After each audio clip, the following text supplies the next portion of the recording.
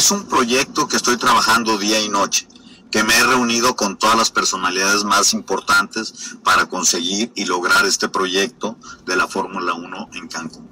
Lo estamos logrando, lo voy a lograr.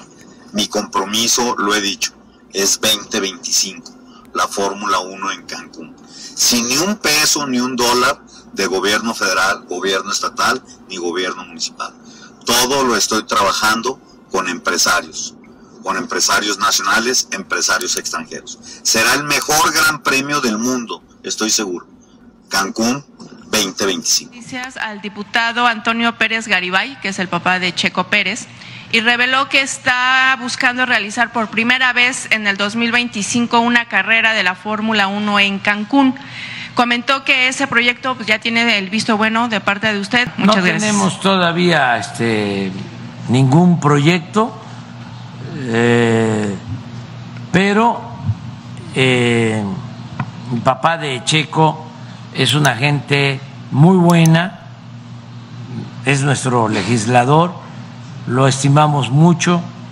Checo es buen piloto, también es este un ejemplo y su papá es mejor.